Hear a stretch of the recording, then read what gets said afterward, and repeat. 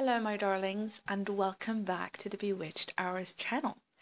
In this video I'm going to be talking and sharing my top 5 movies directed by Alfred Hitchcock.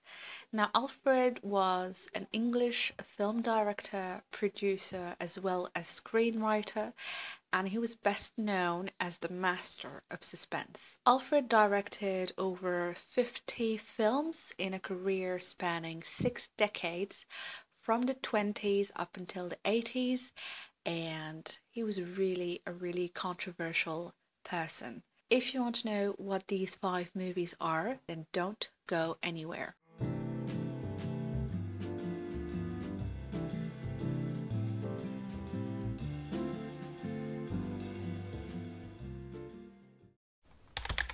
Marnie is a 1964 psychological thriller starring Tippi Hedren and Sean Connery.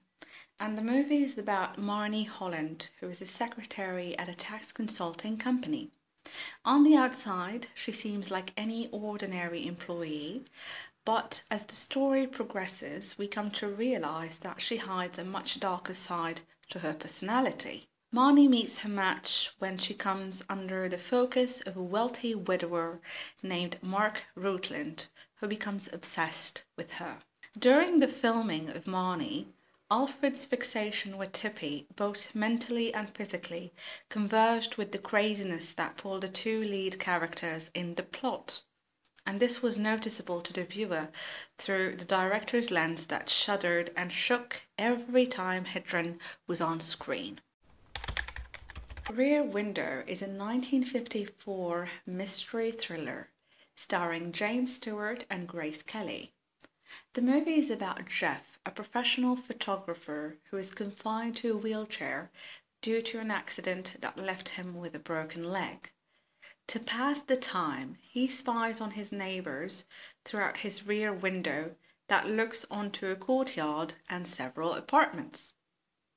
One night, during a thunderstorm, Jeff becomes convinced that he witnessed a murder at one of his neighbors' apartment. What I loved about this film is the, the suspense that it will put you in. For the entirety of the movie, one question will be at the forefront of your mind. Did the husband really murder his wife or did he not? Psycho is a 1960 psychological horror thriller starring Anthony Perkins, Janet Leigh, Vera Miles, and John Gavin. Psycho is about Marion Crane and her boyfriend Sam Loomis. The two want to get married, but because of Sam's debts, they can't afford to. So one day, without talking to Sam about it, Marion steals $40,000 from one of her boss's clients and she runs away to California where her boyfriend lives. En route to Fairvale, California, a heavy rainstorm delays her drive and she ends up at the Bates Motel. There, she meets Norman Bates, a charming young man with a controlling mother. At night time, during a shower, Marion is murdered in cold blood. But why? Psycho is considered one of Hitchcock's best works. With every shot, with every scene, you can tell that as a director, he had a deep urge to control every detail. Dial M for Murder is a 1954 crime mystery film starring Ray Milland, Grace Kelly, and Robert Cummings.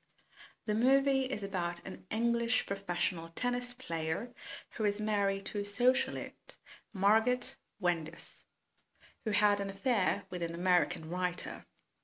When Tony, the husband, discovers this, he makes a decision to murder his wife for two reasons. The first one is simply revenge, but the second one is to make sure that he inherits his wife's money.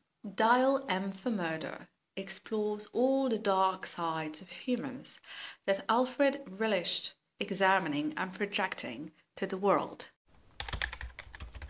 Vertigo is a 1958 film noir psychological thriller film starring James Stewart and Kim Novak. This film is about John, a detective who is forced to retire due to his fear of heights and vertigo. One day, John receives a call from an old acquaintance from college, Gavin, who asks him to keep an eye on his wife, Madeleine, an act that will lead John through a dark road of obsession and debt. This movie can only be appreciated by film lovers who gravitate towards darker, complex stories. Vertigo has many facets to it, and watching it one time will not be enough to understand what Alfred was trying to convey with every scene and every line.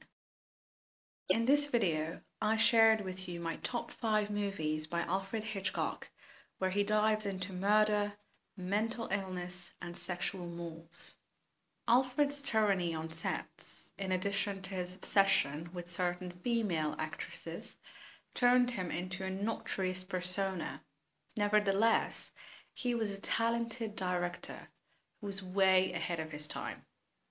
I honestly love so many, so many works and projects by Alfred, but like I said, these five movies are my favorite. I hope you guys like this video please don't forget to subscribe and click on the bell as well and let me know in the comments down below if you've watched any Hitchcock movies, what did you think about them, and I'll be talking to you very soon. Have a lovely day. Goodbye.